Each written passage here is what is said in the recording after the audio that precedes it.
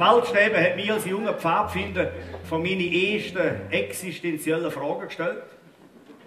Wenn der Wald tatsächlich sterben sollte, ja bitte, wieso muss er noch unbedingt alle Bäume auswendig lernen? Nicht mit dem Auto in die Ferien gehen, streng klimaschutztechnisch. Ein Desaster. Da lässt ein fürchterlicher Saudreck raus. Jetzt aber wegen dem einfach daheim hocken und vier, fünf Mal am Tag grillieren. Und sind wir ehrlich, wenn es irgendeine Minergie oder ein Solarbrot, das es gibt, oder von mir aus noch irgendetwas ein Thermoschübli.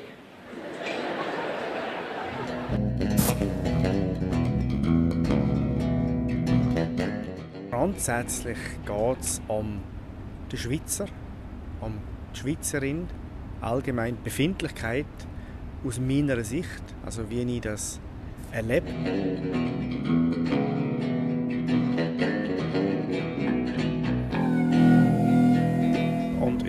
Im, Speziellen hat es verschiedene Geschichten, wo so ein bisschen das Thema Verstohlen, also im Verborgenen, im Geheimen, thematisieren, verschiedene Händel, die im Verborgenen gemacht werden.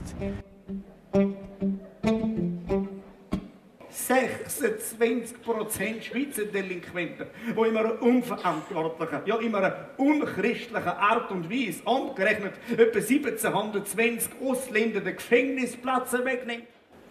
Woher das mit den neuen Ausländern exportieren könnte? Hm. Ja, das ist doch mehr gleich. Die können sich frei entscheiden. Herde, Gas, Heresau, Handwil. Wie ist der Schweizer? Der Schweizer ist eigentlich ein relativ ein verschlossener Mensch. Er probiert aber das Bild gegen außen allmöglichst offen zu präsentieren. Wir sind relativ kontrollierte Menschen. Und äh, wenn man die Kontrolle verliert, wegen äußeren Einflüssen, wegen Neuerungen, Neuerungen die es gibt, dann, äh, dann passieren herrliche Sachen. Man muss einmal gesagt sein, vor allem all der realitätsfremden Armeegegner, die von lauter Pazifismus schon gerne den Eisenkrauttee verweigern. Danke für all die neuen Waffen. Danke für all die Sicherheit. Danke, liebe Ueli, danke, dass man danken könnt. Du bist mein Hu